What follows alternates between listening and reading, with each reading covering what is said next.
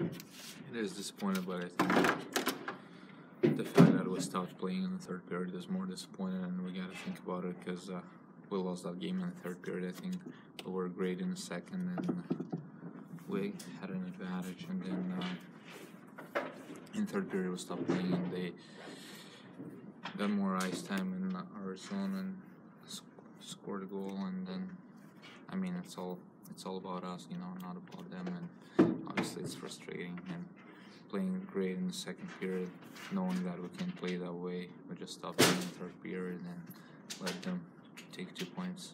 You guys fell behind two nothing and could have been worse with some posts there.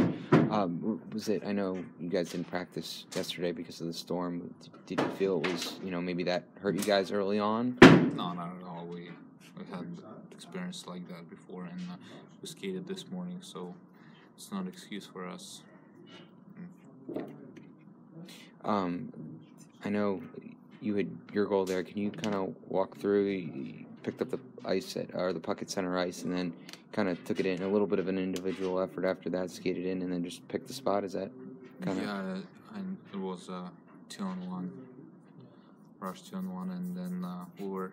Our coach was talking about it before.